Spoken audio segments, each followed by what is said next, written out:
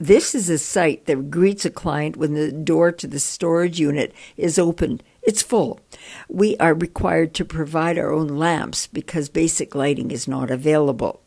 The shelves are crammed with items like these linens, which need to be sorted and labeled. Items need to be stored on the floor because of lack of shelf space for extras like some of the bedding.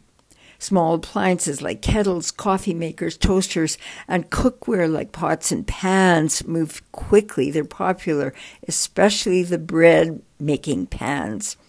Basic utensils, kitchen utensils that we take for granted are gratefully accepted.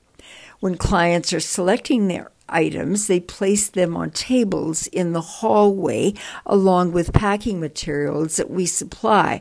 Then, when they leave, we put it all back into the unit. The second unit, which was free to us for one month, is beginning to fill up already, and there are more articles constantly arriving.